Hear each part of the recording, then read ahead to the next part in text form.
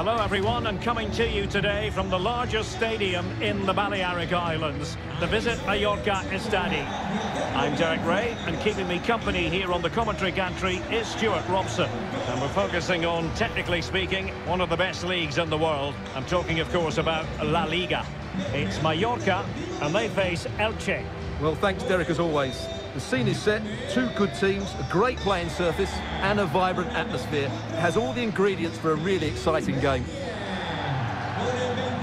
Well, it's true to say they've had their difficulties away from home. In fact, looking at the record, Stuart, they've hit rock bottom. Well, still without a win away from home, and unless they play with more ambition, I'm not sure we'll see one today. I just can't see where they'll cause problems for their opponents here.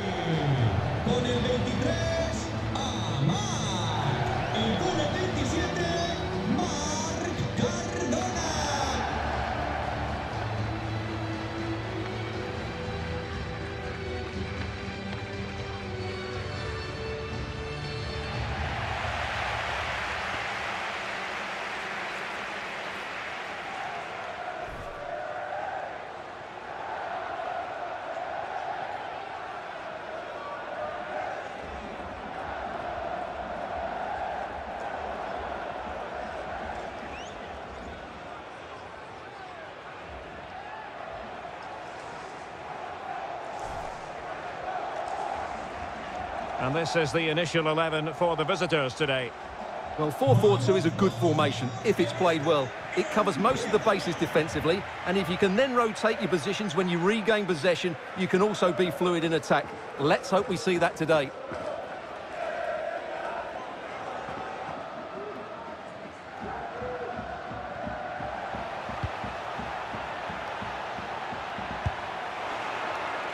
Well, going for power from there but not worrying the goalkeeper in the slightest.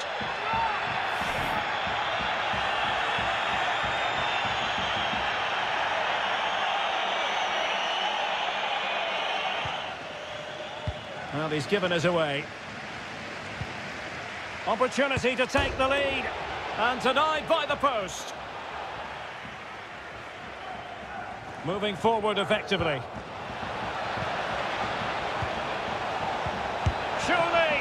And the goalkeeper has outdone himself with that save.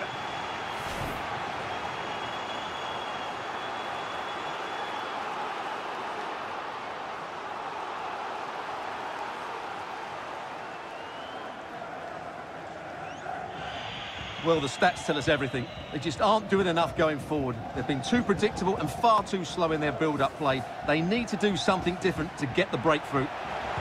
Well, that pass easy on the eye. And now waiting to pounce. And it's in! 1-0. They've breached the defence.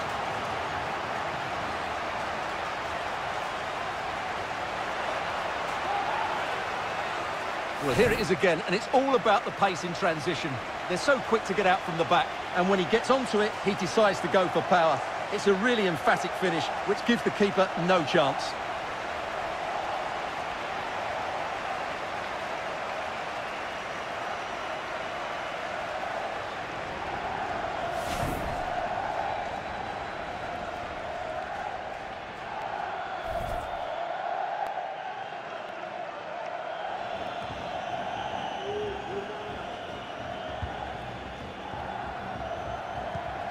Cardona, and he's made headway.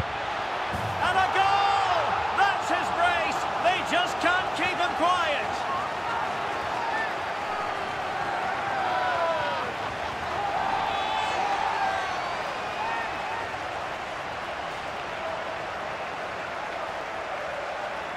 Well, here it is again. He goes past his marker so easily with just a drop of the shoulder. And then through on goal, he just goes for power and smashes it past the keeper. There's no stopping that. What a great finish.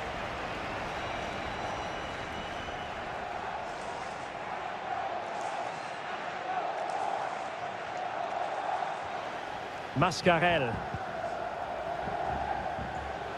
Plenty of forward momentum here, but can they produce? High echelon goalkeeping there.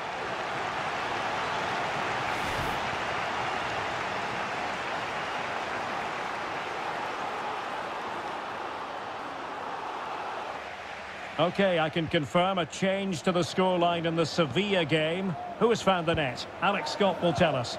Yeah, another goal for Sevilla. They're ahead by two now. With... Must score! A goal! And it's very much game on here.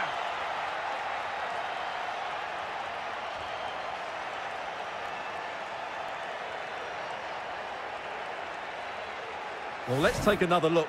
He's got such quick feet, hasn't he? It's a great turn and shot. What a good goal that is.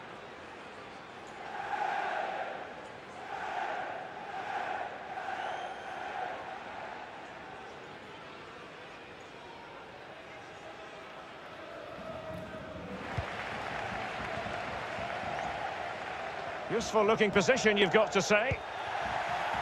And credit is due for that good piece of defending. Oh, a goal! They've taken full advantage of a dreadful mistake by the goalkeeper.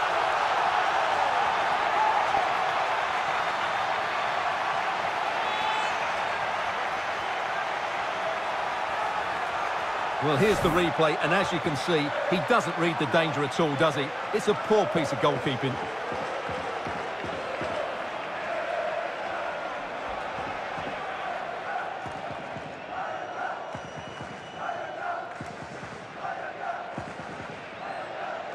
The referee's verdict is three additional minutes. And players waiting in the centre. It has to be. And the goalkeeper has outdone himself with that save.